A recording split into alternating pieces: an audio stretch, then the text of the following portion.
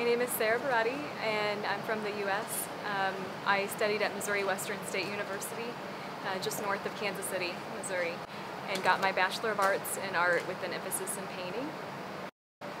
After that, I was interested in combining my art with the theater, so I did a couple of internships in theater, one in New York and one in Kansas City.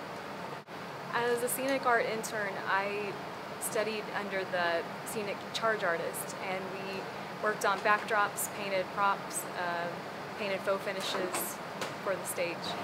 And then after that, I had a job around the same time um, as a teacher assistant, tutoring students, and I went back to school, discovered I liked teaching, went back to school, got a master's in teaching.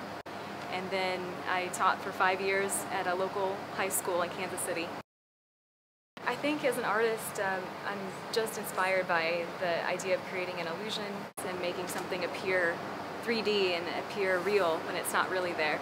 But I'm also interested in surrealism and abstraction and combining images. Sometimes I get inspiration from a parable or story or a metaphor to combine different images together.